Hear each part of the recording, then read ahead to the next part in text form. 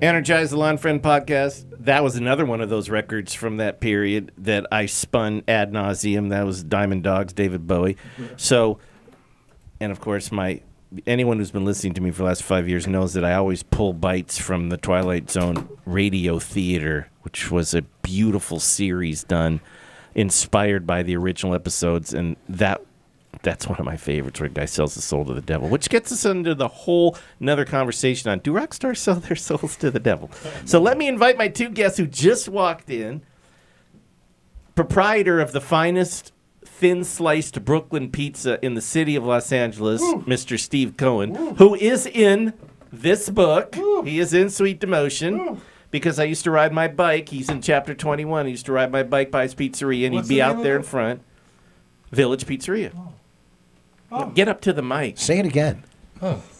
Now I think about him often. I thought uh, last week in New York was in New York City, and we were my daughter and I were walking, walking um, right past Madison Square Garden, and I said, "Hey Meg, you know Steve from the Village? That's where he saw his first concert. First concert. Tell us about your first concert. Oh, concert." my first concert.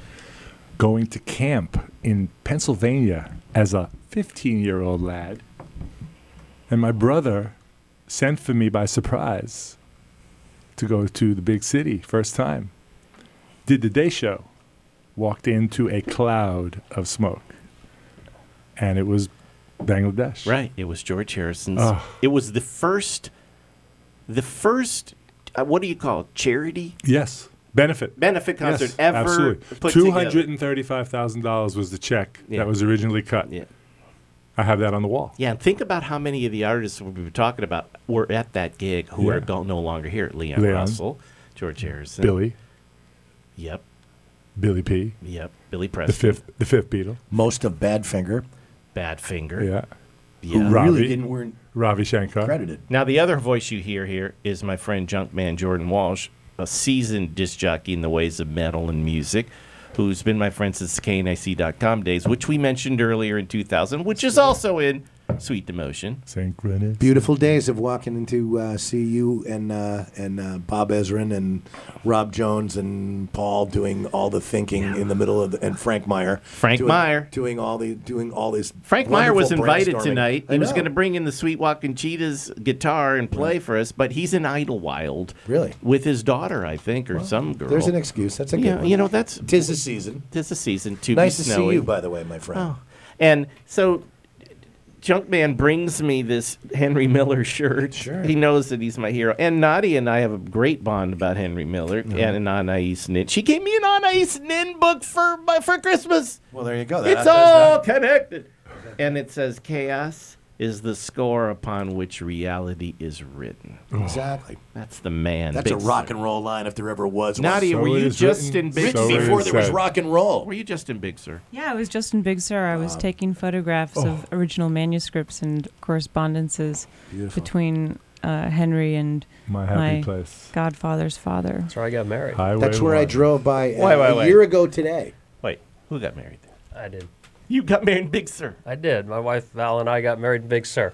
Nice.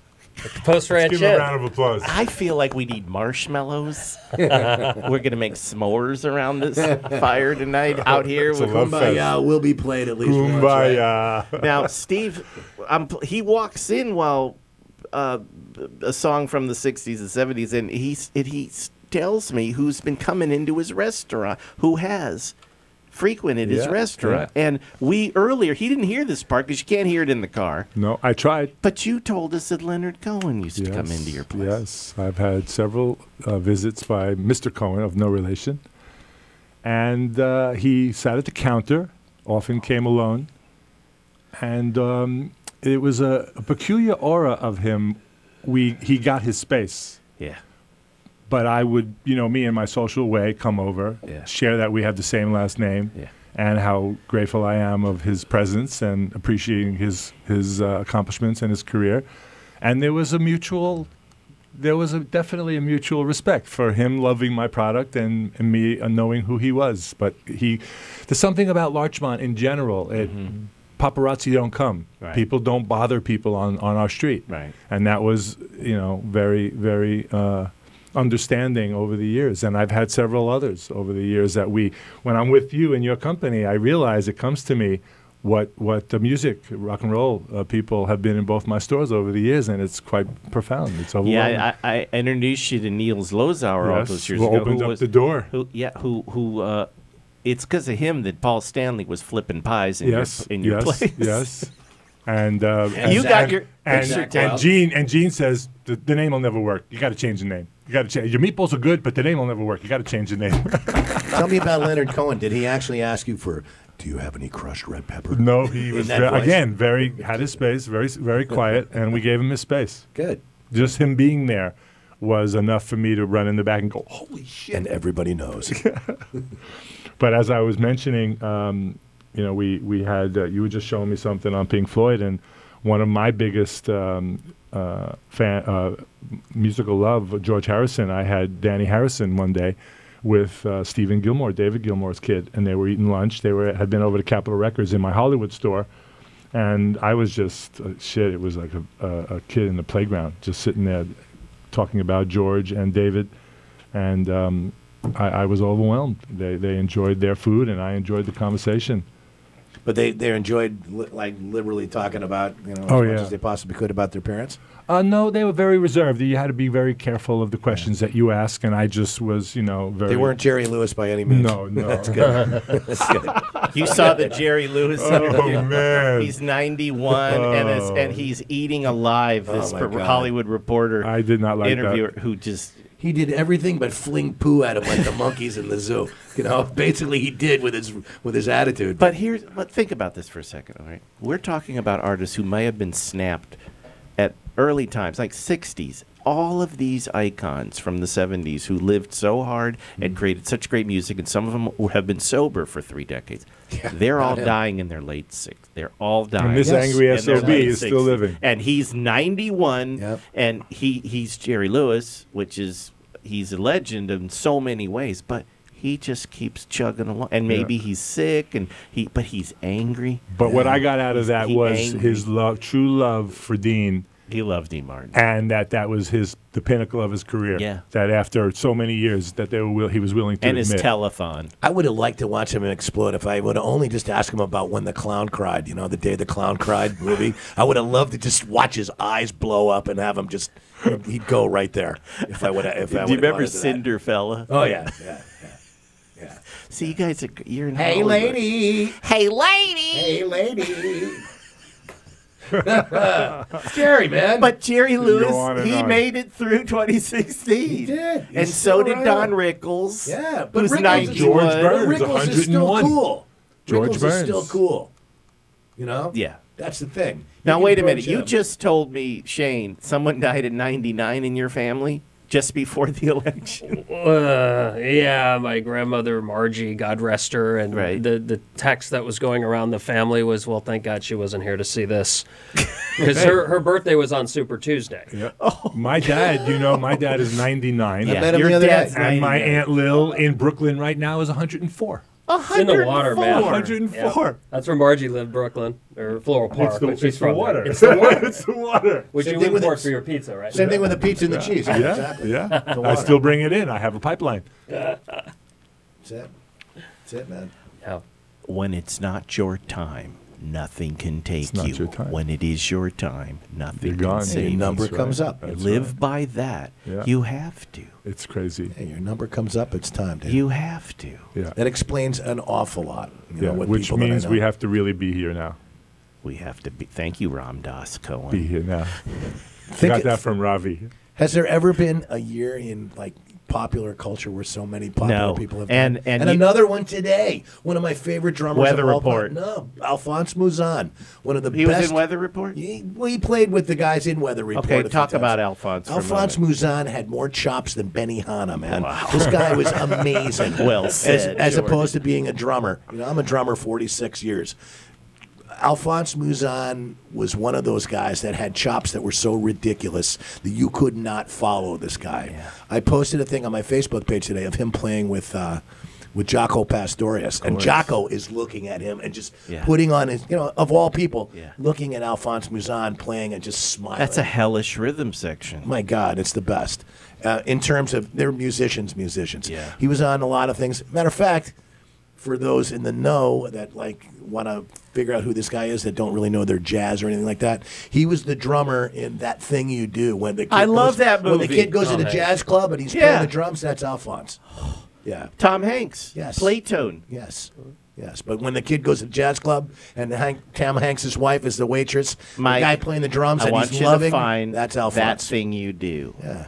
That's what I love being. But they don't you have guys. that- they don't have that jazz thing in shit there. out of the- it's By the way, it was Fountains of Wayne who Yes. wrote all those songs. Yes, absolutely. That was uh, George them. Jason or Yeah. Fountains of Wayne. yeah, they're great. I love that And movie. Tom Hanks helped them with the Li- lyrics. uh, that's li- that's Liv Yeah. Tyler. now, have you have you ever watched the director's cut on that? The director's cut brings that movie to a whole other Does thing. it? They there's a there's a there's a scene where Tom Hanks pulls up to the hotel with his boyfriend, played by Fred Dreyer. So it's got that part of in there. There's a whole other lot of things with the director's I want to hear that. So Mike. you have to go see it. that. But Doing that thing you do. But when he goes to the when he goes to the blue, I'll sing it. Whatever the jazz club that he goes to, and he's loving that jazz band and just like shaking his head and just loving everything about it. Alphonse is the drummer that he's watching. So And he passed today. he passed today. yes, today, today. Wow. today. And then George Michael. What Yesterday. Oh, man. Wow. Yeah, well, I'm gonna close. Did you I see gotta- the I pictures got of George, Michael. Michael of him? Oh, I They don't. said it wasn't I, even I don't, him. People I don't don't believe it was him. it was him. Those pictures are He terrible. plumped up like a ballpark Frank if he did. It's pretty big, but But someone posted 53? the original driving around in car. The cars, the, Yeah, the with James Corden, Corden does the karaoke. The first one he did was Yeah, with George, George Michael, Michael. and it's so funny. there These two Britain. Englishmen Yeah. running around. Um, so funny. Yeah. so we had the lead guitar player for Status Quo. What two days? No, I played. I just played. I played he, that. I played uh, Matchstick Man. Yes. and that's that's uh, his opening guitar riff, Rick. That's how we started the show. Remember You the remake of that where they did that with a violin? In See, we have knowledgeable people here at the Yes. Energize Studio tonight. I have, this is the biggest crowd I've had in a while. You know, Did you bring pizza? No. Oh. I'm We closed thought for about six it. days. We I thought thought about about it. it, but I Oh, I didn't. I didn't Yeah. want to be. I didn't want to be known for just that. I wanted to be welcome without the pizza. Well, you know you're always I welcome. know. Of course. I did We my saw- beard. we- my beard for you. We saw some concerts together. yeah. Sure. Greek Yeah. Theater. Yeah. Didn't we do the? Uh, didn't we go to uh, Fonda? For Zach, weren't you at, with me? No, that was my friend Rick No. to see Zach at, at No, that was another Jewish then, guy uh, with a goatee. You two timer. you and I went Leon- to see Zach at the Fonda. Oh, okay. Then I saw Leon at the Fonda and went around to the bus. They stole somebody stole Wait, uh, wait. a guitar of his, of his band member. Leon. Yeah, so Leon, his bus was parked on the side street. Yeah. That was the biggest loss of the year, as far as Okay. I'm concerned.